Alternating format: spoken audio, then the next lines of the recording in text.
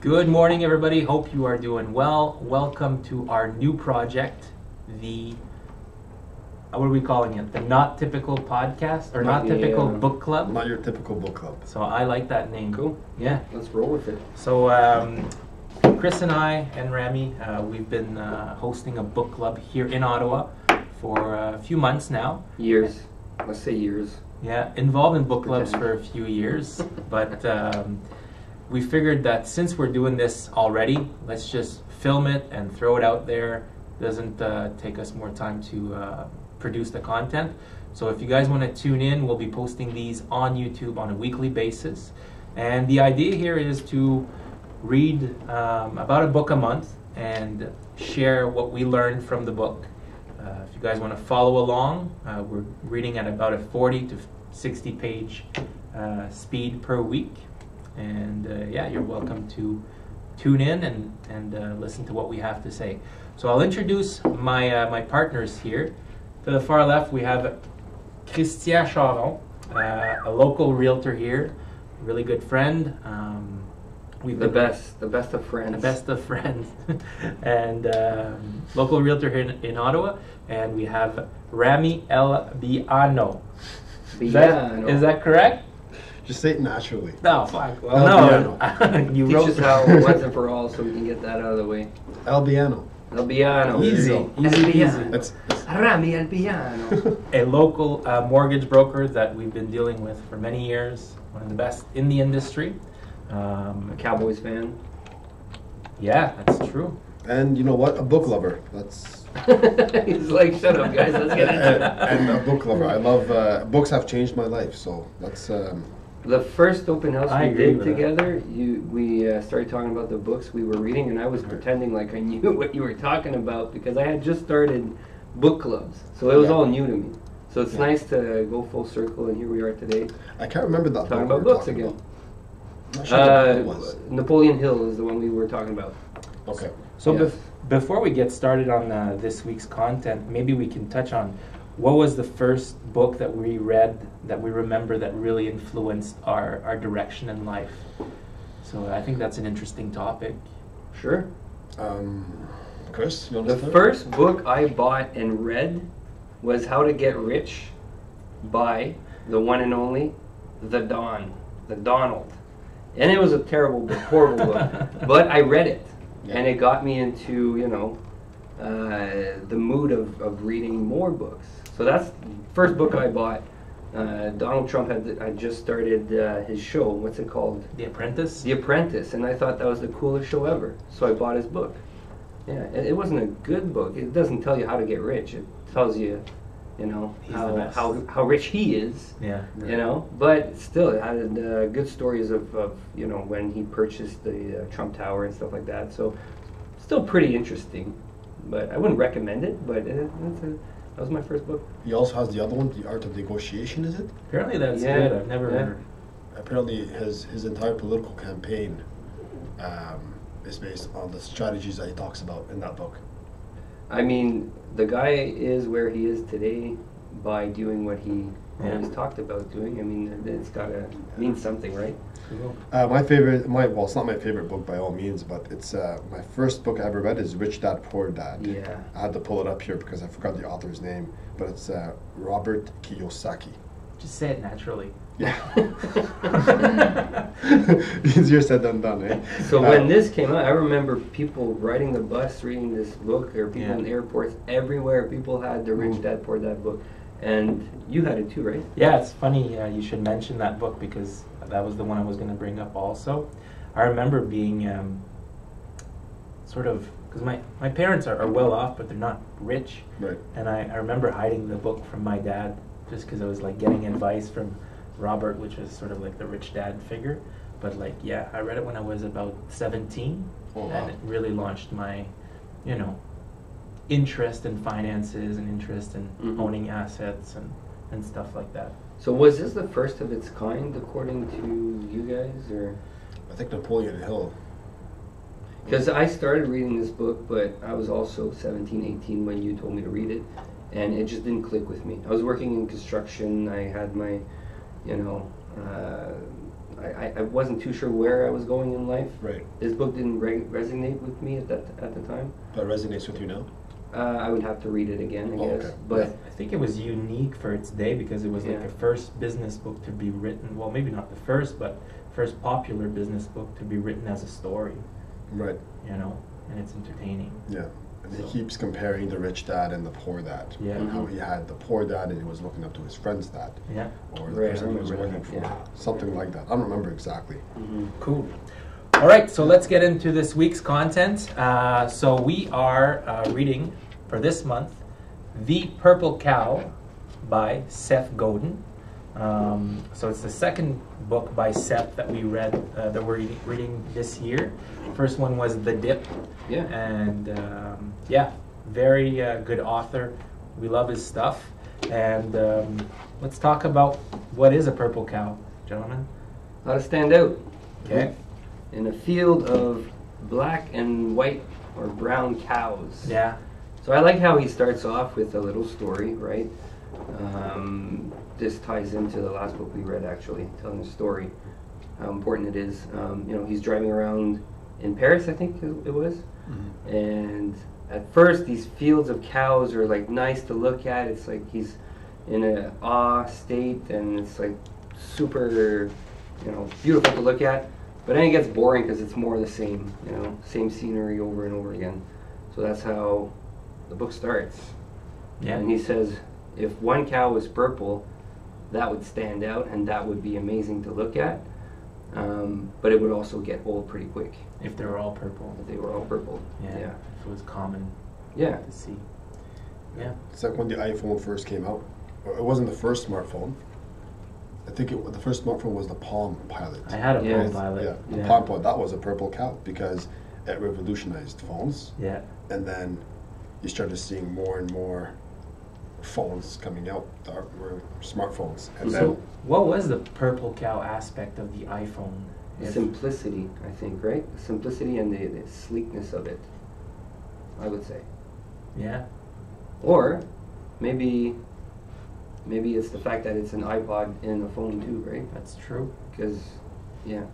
I guess where I'm getting at is you can have a purple cow inside of a purple cow. Inside of a purple cow. Yeah. You know? Like an inception of purple cows. but then we're at a, we're, we're at a, we're at a point now where the iPhone is very normal. It is. So what did the iPhone do? They have, I think, one of the best cameras in in the um, in the industry, right? Uh, yeah. Don't I'm not sure, but I think Huawei. Huawei is now, Huawei is yeah. on flow. What's the phone that just came out that's got five cameras? Huawei. It looks ridiculous. There's five cameras on it. Is that the Samsung? Maybe, I don't know. What is it? Anyway, I think I think the evolution of camera phones could be a purple cow, Could. Yeah. Yeah. right? Because Any new features? Yeah, a lot of people like to take pictures, and the cameras, you know, it's, it's a huge selling feature. Hmm They're they're interesting questions, and I think that reading this book, you know, throughout this month will allow us to like identify a bit more clearly. You know, what's why is this successful? Why Yeah. is this not working? You know, or why did this work and stopped working at some point, right? Mm-hmm. And I think it's important to know also that the purple cow doesn't have to be an object. It can also be something that you do, right?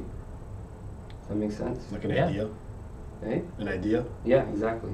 There's something different that you service. do. Okay. A s- A, different service, uh, yeah, added value to your service can be the purple cow. Right. It's not just the, the iPhone itself. It I can think be- Uber was a purple cow for Yeah. Oh a while, right? Yeah. Uber was a purple cow. Yeah. Big time. Yeah. And it wasn't a product; it was a service. hmm And uh, yeah, Even the likes of Skip the Dishes. Uh, Yeah. Uber Eats. That was that, that's a purple Yeah. cow. That revolutionized delivery. So would you say Lyft, which is also the same service, what's their purple cow? What's Lyft's purple cow? I don't know. Would you say it's the flashing lights they have on their dash to identify which which which ride is yours? something very different. I don't know if it qualifies them as if that qualifies as a purple cow. I mean, Well, they're doing that's that's what they're doing differently. Yeah. I think. Right. I get what you're saying. Yeah, Yeah. that's the way you know that that's a Lyft, and Yeah. you know the Ubers have. The Yeah, they have their own little signs. Yeah. I've never seen that in an Uber. I know you can flash your phone, but do they have the, anyways? Yeah. Flash no. your phone. Yeah, so your phone, you, you have like a different color. Let's say you and I both call an Uber. Yeah. Uh, I can click on the flashlight thing on, on the Uber app, and mine's green, yours will be red. They'll know which one to pick up. Yeah. Oh. But Lyft, Okay. The You sign just- changes yeah. color? yeah, That's cool. yeah. I've only just started using Lyft, so I'm like finding out what it's about. Anyways. Okay. The gazillion. All this to say that, you know, to go back to what I was saying, the purple cow can be a little thing that you tweak. That doesn't have to separates you be from you the don't you don't have to competition. reinvent the wheel, but tweak something that makes you stand out like a purple cow. Well, he talks about the elevator. Exactly. That that new elevator that Yeah. That they created because who are you marketing your elevator to, Dyson right? Crew is that the company? Uh, in the book. Anyways. So this book was written, what, 10 years ago? Right. Yep. And uh, he talks about this elevator idea. And it sounds totally revolutionary. But have you guys ever seen an elevator that asks you before you even get on which floor you want to go to? Nope. No, I've never experienced that. No. So maybe that's that was a purple cow that never caught on. I don't know. I'd like to. What's it called? I don't know. I'm not sure. yeah, we'll have to find So- it. I, So the only name, the only elevator company that I know that I know is Dyson Dyson Group. So I mm-hmm. think that's the one they're talking about. Dyson. That'd be cool. Dyson elevator. just suck it you up sucks you up. Well, How do you stop? Is that a purple cow? The Dyson? That Yeah. has been around. Definitely. They, they they didn't reinvent the wheel. Well, I guess they sort of did with vacuums. They made vacuums cool. They You innovated. know? Yeah, I think their fan is a purple cow. The one Yeah. that has no blades. yeah. Right. Yes. How scared were you the first time you stuck your hand in there? Not scared, but No, I was like, there's there's got to be something in there, like a blender, another dimension. another dimension. So that's one thing that this book does really well. It, it does case studies. Mhm. So Yeah. it talked about the elevator. It also talks about Tide, Right. Yep. Tide Pod challenges. Yeah, Nintendo. Yeah, true. Yeah, so Yeah. it's um, it's good that it talks about those different um, case studies. One of them was the Volkswagen Beetle, Yeah, right? And are you looking for that elevator? Yes. company? Chandler elevator. Yes, I never even heard about that. Schindler- elevator. That's way off. But you're right. I've never seen those. But he talks about a certain area too, a certain building. Right? So he says, It's it has a three and a half star review. I don't know. This is not Control panel got wet, stopped working. Schindler's elevators and escalators in Montreal.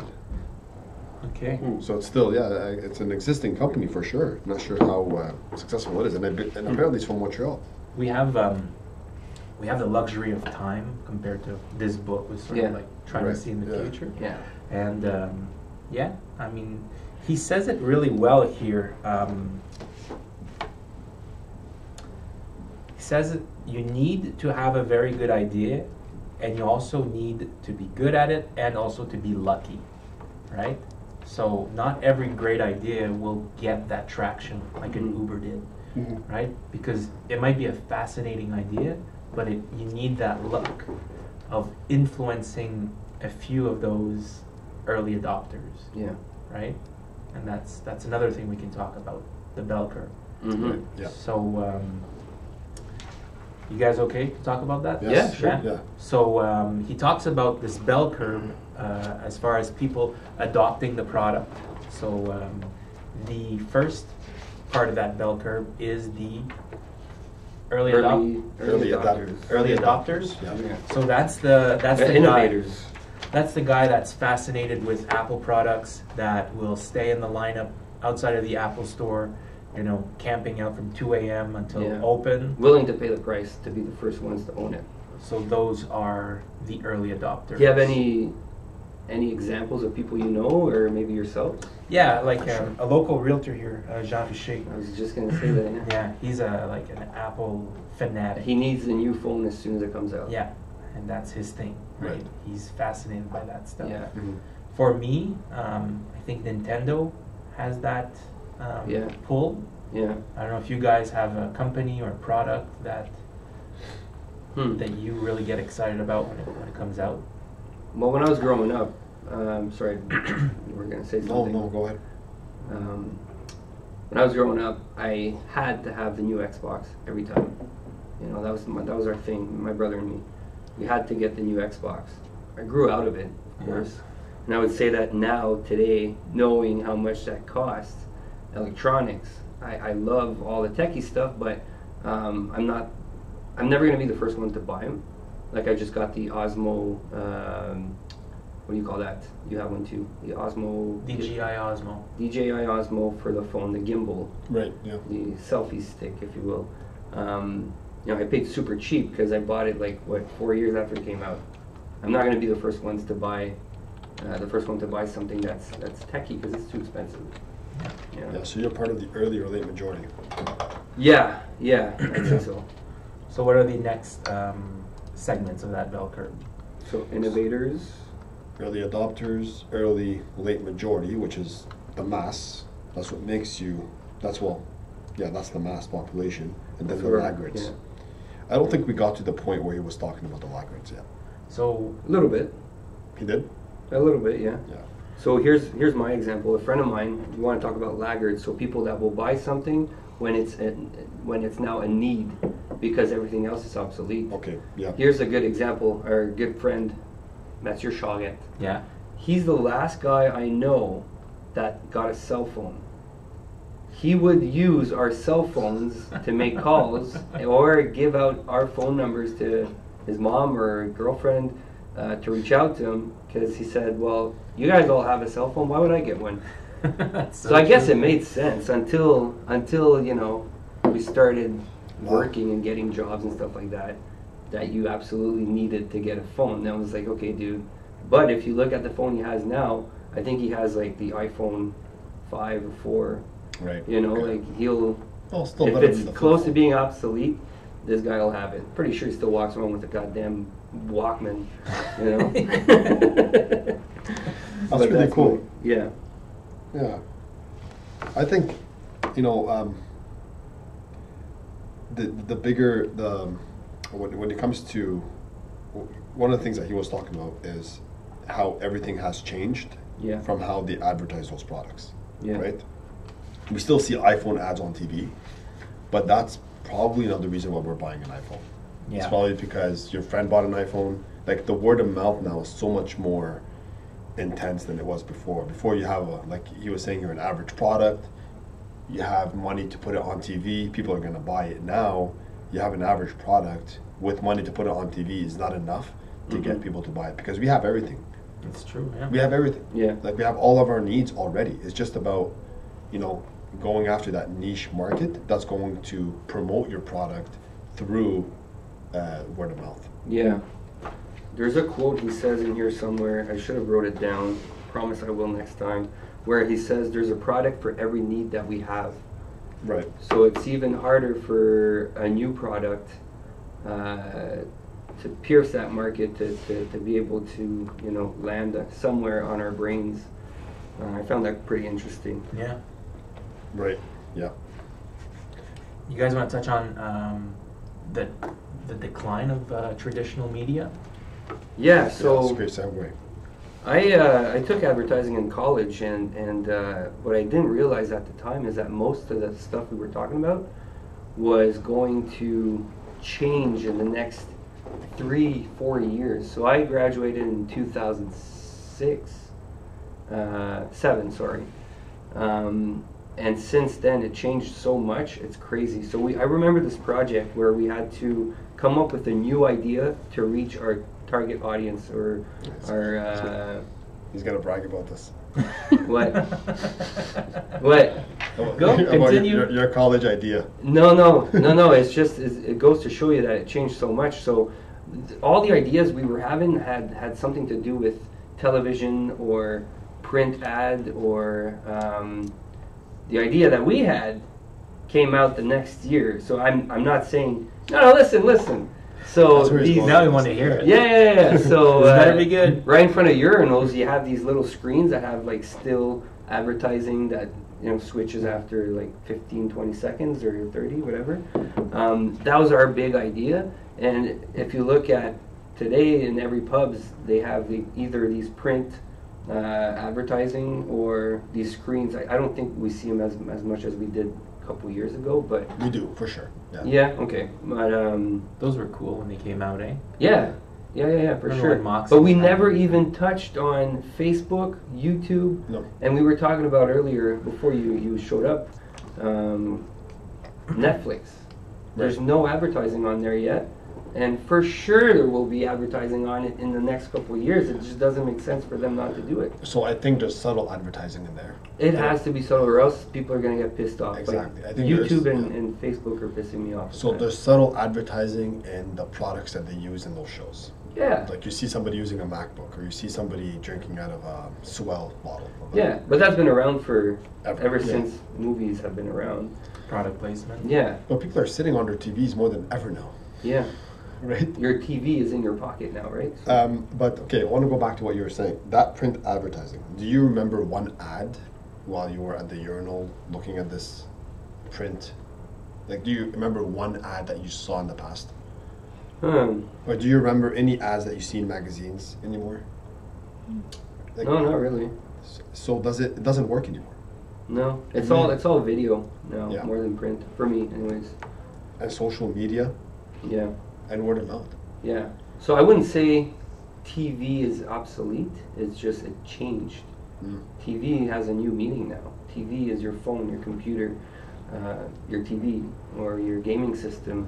How many advertising? Uh, It is more current events Yeah. and not, you know, pre-recorded shows. Yeah. Like, you know, So- shows. they no longer advertise to the masses they target how often do you go on facebook and you they're trying to sell you something you just talked about like it's freaking insane like i never Mhm. thought that would have that would have been possible They're listening to you. i went to go take a look at shoes yesterday my, my brown dress shoes are cracked Right. so i just went for fun swear to god got home opened my computer facebook those same shoes were right there it's like they geo marked your um, yeah your your whereabouts in the mall. yeah Did you go to a mall or a box store? box store So that's even easier. Yeah, right? exactly. Wow. It's freaking nuts, man. It's uh, They insane. geomarked it. Yeah, Yeah. so your phone has a GPS in it. Right, yeah. And um, you know, there's a few apps that ask to use your location even when you're not using the app. So they probably geotagged Chris inside of Best Buy shoes or whatever. yeah. Rick's. Rick's shoes. No, I'm just kidding. Rick's. I don't know what that is. It's a, it's a dirty store. That was just a bad joke. My it's a dirty store. We're sorry, Rick's. Does that even still exist? So, uh, moving from TV, traditional media, to towards word of mouth, social media, I think the targeting aspect of, you know, hitting your clients with an ad once you know that they've been inside the shoe store, and then you're like, ah, well, he's shopping for shoes, let's hit him. Mhm. That is so much more optimal. Mm. I think that a lot of the companies are starting to realize that, and now they're starting to, you know, put some money into social media. Yeah. Yeah. They're no longer fishing with a net, Yeah. right? So they're they're focusing on choosing the right bait for the right person. They're no longer. And they're Yeah, creating, and I think that's where you're going with this, sneezers, Yeah. We right? can talk about that. Yeah. So towards the end of the uh, 40 page that we read, he starts talking about this idea called Idea virus? the idea virus. Yeah. And uh, I think that it's a great analogy to talk about, you know, innovative marketing. I wonder if he invented that, that word, I I idea think- virus. That's pretty He I think it was in another book, Oh, yeah? right? He mentions it real quickly. Well, if you Google it. idea virus, I think he's the first name that comes up. Yeah. Probably made it. He might be a sneezer. He's a sneezer, yeah. He might be the sneezer. Don't be a sniffer. Be a sneezer. So the idea virus analogy is that you sort of implement, uh, implant that idea into somebody's mind, you know, as a virus, Yeah. and then you need to reach out to sneezers to make it go. So sneezers wider. are the ones that are gonna take uh, your idea and and uh, shift the word of mouth into another gear. yeah. And it's it's funny because we all often talk about in our business how sticking to basics always work. Word of mouth used to be the only way of promoting your business, and now here we are again. How many years later, word of mouth is now the way to go to push your business. But you just have to find those sneezers that are gonna sneeze away the uh, idea virus. And are sneezers a word that could be interchanged with early adopters, or is that something different? Um, oh, good question. I think that you could be a early to late majority Mhm. and be a sneezer, Yeah. but you're more likely to have sneezers in the group of the ultra early adopters, right? Because they're so passionate about that product. He also talks about the middle part of our bell curve here, early and late majority, being the, the bulk of the people you're reaching out to. Um, they won't believe the innovators and early adopters until it reaches them, right? Like they they won't believe you as as uh, advertising. Uh, like let's say you're pushing your, your product, they won't believe your your ad until the innovators and early adopters have tried it out. Right. So maybe the sneezers that you want to reach out to are within the bulk of the people you're trying to reach out to. Early They're less majority. fanatic about that stuff. So in our line of work, I think the sneezers are our clients, Yeah. probably, right? Mhm. Um, every person that uh, leaves you a Facebook review or a Google review, those are sneezers. Yeah. Those are the ones that will talk to you and uh, talk about you, right? Those are our sneezers because all these ads that we promote, whether it's on Facebook, um, I don't think people will listen to them. I actually don't think uh, people pay attention to them that much, but they will pay attention to a colleague, they will pay attention to a friend, Yes. they will pay attention to a past client Yeah. right? Uh, that's and that was one of the biggest things about the idea of virus that he was talking about is that um, you know they listen to their experienced peers, but they're going to ignore you. Mm-hmm. Whew. Yeah. So unless you're somebody who represents any type of significance in their life, there's a good chance they'll just ignore you. Yeah, I think so, um, and that I, I totally agree with this because if you're not if you're not doing things differently, Yeah. you're just like everybody else. Is it safe to say that for um, certain products, the only way to reach your your niche market is to use people that have influence on on the masses, like athletes, pro athletes, is now more relevant than it has ever been? So we see, we used to see that back back in the day, right? Like they would use big stars to, to push their products. Yeah. But now it's even more targeted. I think it's skipping a step. Look, we just talked about the new youngest self-made billionaire, right? Like What she is her is name? using herself, uh, Kylie Jenner. The Kylie? Yeah. I thought you were talking about the Canadian, that uh, the youngest Canadian guy. What's the one that created um, uh, Wish? The Wish app. the Wish app. Mm-hmm. Okay, that's a Canadian. You know what I'm talking about? Yeah, I do. Huh. That's That- he's a- crazy. is he Canadian? I th- yes, he is Canadian for Oh, sure. Yeah, but the- it's the Wish app. Own, Wish app CEO. Huh. What's his Huh. name? No idea. Uh, Peter. Peter. Just let it flow. Shashowski. Shuvash- Where's just the shot? Is that him? Worcestershire. Uh, let me see. Uh, man, I feel like he is from Canada. Suzuki. Yeah. No, I think he was from Canada. Somebody else. He's a he's a blonde. He's about 31, 32 years old. Huh. So is Wish Um, what is in any way a purple cow?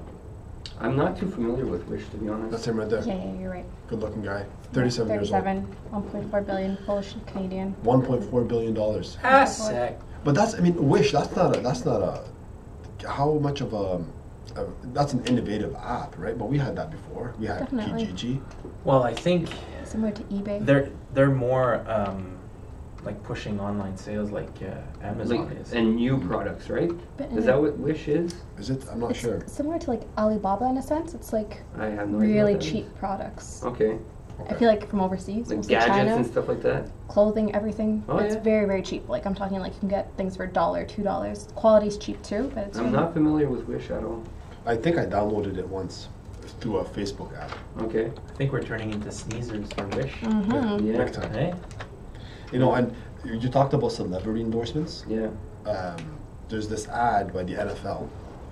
Um, the they called it the 100th year game or something like that. I'm not sure. I'm not sure if you've seen it, but that Yes. unless you you see it on Facebook, you see it shared by everybody on Facebook because it was such a great ad, and it's your best athletes being funny, being humorous, At the being gala, people. getting into a Everybody. fight. That's Right. Yeah. Yeah. But you didn't yeah. you didn't see that going on NFL.com. You saw that on Facebook. I And saw you- it on during the Super Bowl. Yeah. So did I. Yeah, probably. But it Yeah. gained it gained extra legs online just Yes. because it was such a good ad. Yeah. It was a great ad. It probably was had different. more of a reach online than it did during the Super Bowl. hmm I think the Super Bowl wasn't even listened to that much this year.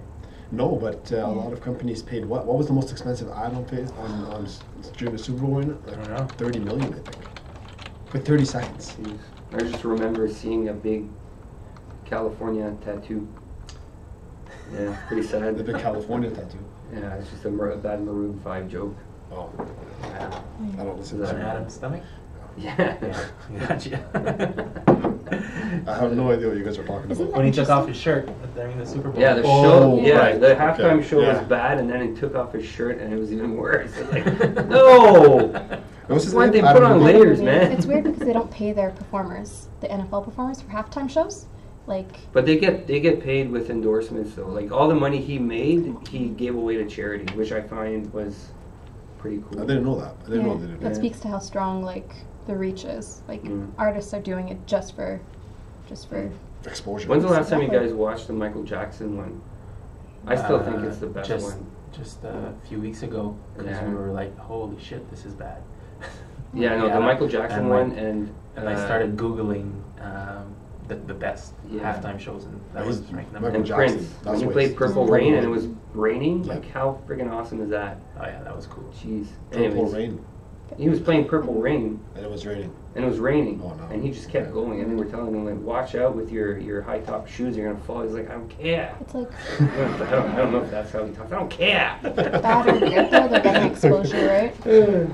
So, eh? It's a bad or good. They're getting exposure, right? Like the next day, Maroon 5's Oh, yeah. streams went way up. So Yeah, yeah, for sure. just talking for sure. about them. So he said one thing here that uh, resonated with me. Don't try to create an idea or a product for everybody because that's a product for nobody.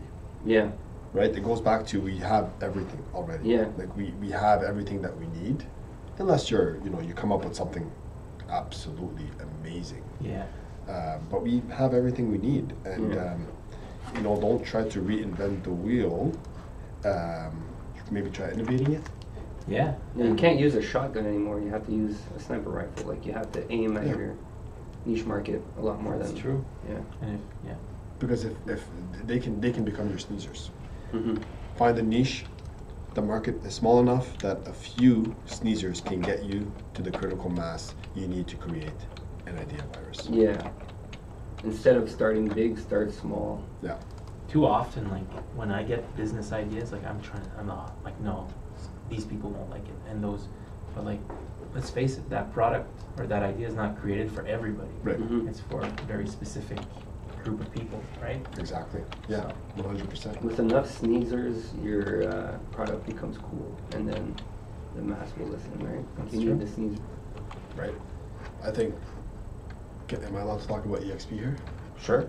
I think EXP um, is a purple cow in the real estate industry. It is Mhm. Right. definitely. They've they've completely um, changed the way brokers or, or real estate brokers um, do their business now. Yeah. Right. They can have their own brokerage essentially. That was It's one of the first questions I asked him this morning, and I said, "Well, what's the purple cow in, in our business?" And you said, "Ownership." Mhm. Everybody. Yeah, The more you perform, the more you own. But you can also look at your business, Rami. Um, you guys haven't reinvented the wheel yet. What you're advertising yourself as being, um, uh, you're, you're just advertising yourself as being different, Right. Yeah. and you're consistent with your ads. I've never seen that before. Uh, you and Brock Frost did it, Yep. and I'm sure that's working out pretty good. So I think um, bro- mortgage brokers in general are now becoming what they were in the past. right? We were the, the problem solvers because if someone like right now, most of the time it's a rate game, right? Who can get you the best interest rate? But Mhm. there's more to a mortgage than that. But but but back in the day, people would come see mortgage brokers only when they can't get approved at the bank. Okay. Uh, Now we're more than that. Of course. Right? But now we're more than that plus with the um, amount of private money available to us, we're also becoming more of what we were in the past. yeah. So the past is Problem coming back. solvers.